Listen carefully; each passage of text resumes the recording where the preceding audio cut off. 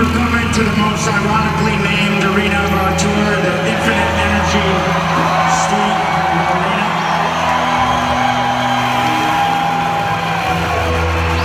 Because everyone knows energy is infinite.